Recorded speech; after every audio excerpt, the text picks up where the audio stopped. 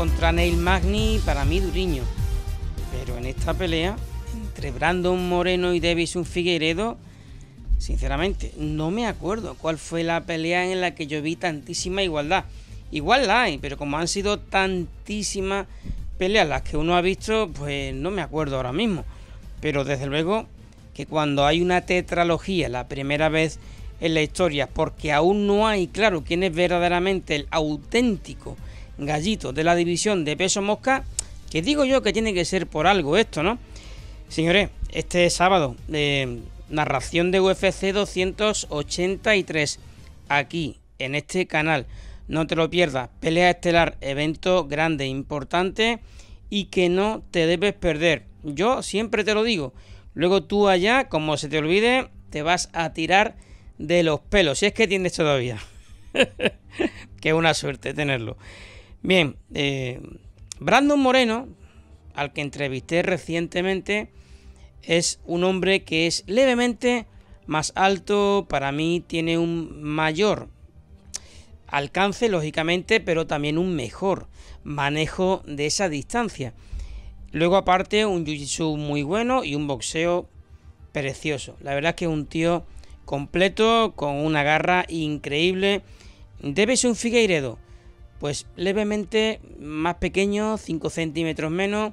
Para mí creo que pega con mayor contundencia que el mexicano, pero además también tiene una cosa que no me malinterpreten los brasileños que puedan ver el vídeo, pero en ocasiones roza un poco la ilegalidad. ¿eh? Siempre va un poquito más allá, se quiere llevar la pelea sea como fuere, pero evidentemente hay que cumplirla siempre.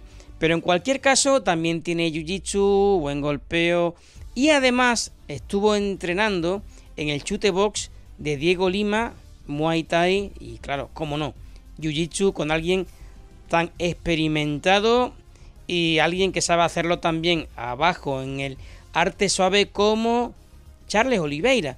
Con lo cual no sabemos que nos vamos a encontrar y mucho menos a sabiendas de que lleva ya, además clavadito, este fin de semana va a ser un año que no compite, algo que, bueno, siempre nos deja ciertas dudas. No sabemos cómo se puede haber recuperado de esa lesión de manos, pero en cualquier caso, Brandon Moreno sí, que ha estado operativo, concretamente en julio, ganó además el cinturón a Kaikara France, el interino. Todavía más igualdad si cabe. Va a haber una pelea entre dos campeones. Uno el indiscutido y otro el interino. Y además, atentos, una pelea de las tres primeras para Figueiredo por decisión unánime. Otra para Brandon Moreno, eso sí, por sumisión y un empate. Señores, esto es cuestión de tirar la moneda al aire. Yo eh, tengo que ser honesto y probablemente me deje influenciar un poco, pues bueno, pues por el cariño que se le tiene a, Brandon, que es, bueno, pues es el bebé asesino, pero esa palabrita de, del bebé eh, se le dice precisamente porque tiene todavía cara de niño, es un hombre con un corazón espectacular y sin embargo pues se mete ahí a, a ganarle al que se le ponga por delante. ¿Lo va a conseguir? ¿No lo va a conseguir? No lo sé. Acordaros de la última pelea en la que Brandon Moreno juró eh, en las ruedas de prensa y delante de toda la afición que juraba que ganaba la pelea. Y no fue así, pero también es verdad que fue a la decisión unánime, quizás me pareció mm, juzgarla de un modo un poco exagerado. Yo creo que una dividida igual hubiera encajado bastante mejor. Yo, como digo, estoy hablando, estoy divagando, estoy haciendo mis propias conjeturas como siempre, hablando en voz alta, y es que no lo sé. Puedo decir un 50-50, que no me lo vais a permitir. Después de tragaros todos estos minutos, tendré que irme a alguien y simplemente, simplemente por saber que el único que ha sido capaz, que creo que además es un dato bastante importante, de someter, someter al otro, algo que Figueiredo no ha podido lograr nunca con Brandon Moreno, me voy a ir con el mexicano porque además, aunque para mí, pues no por mucho, desde luego, tenga tanto poder en los puños, para mí sí que tiene un boxeo mucho más bonito. Y además como digo, al ser un poquito más alto y manejar muy bien las manos, creo que el control de la distancia le va a favorecer.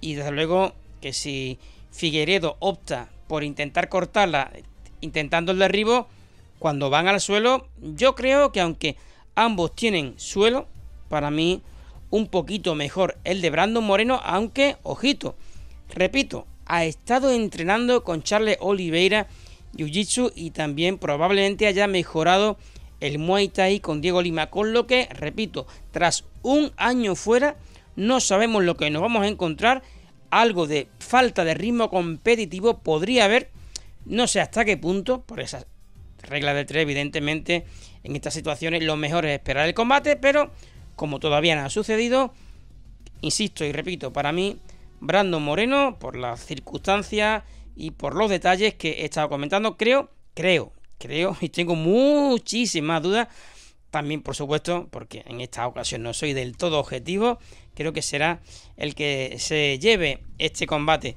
Eh, lo que está claro es que yo te voy a esperar aquí, porque yo lo voy a narrar, va a ser el coestelar por el cinturón de peso mosca entre el indiscutido Figueiredo y el interino Brandon Moreno. No me faltes porque estaremos aquí siempre, como todos los sábados, los amigos peleones, disfrutando de un evento numerado. Evento numerado, evento narrado. Por cierto, ya se ha declarado de que Jake Paul se va a enfrentar al hermano de Tyson Fury, Tommy Fury. Ya hablaremos del tema cuando llegue el momento, pero va a ser dentro de muy poquitas semanas, el mes que viene. Puñetazos cordiales, amigos peleones, si os quieren.